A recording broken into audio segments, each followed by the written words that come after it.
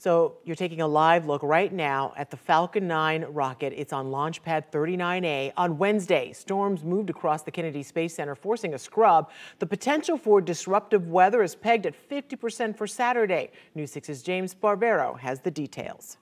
We will feel no pressure. We will go when we are ready. Safety is the highest priority. The safety of the first Crew Dragon astronauts, Bob Behnken and Doug Hurley.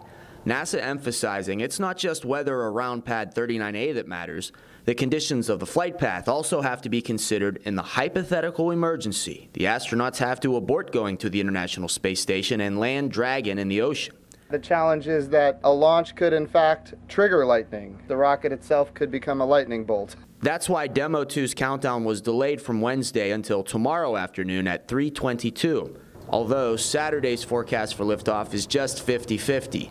So NASA says it's possible launch day is delayed again to Sunday or Tuesday or Wednesday. We could put ourselves in a position where we're doing back-to-back -back wet dress rehearsals. We have to start considering the human factors of that because it wears everybody out, including our astronauts. NASA and SpaceX are further discussing with the Space Force's Weather Squadron. For Saturday, weather officers say rain and clouds continue to be top concerns. Right now it's very similar to Wednesday. However, good news on Sunday, some things are starting to weaken. So the front is moving further south for drier air to build into the area. And the astronauts are familiar with weather delays.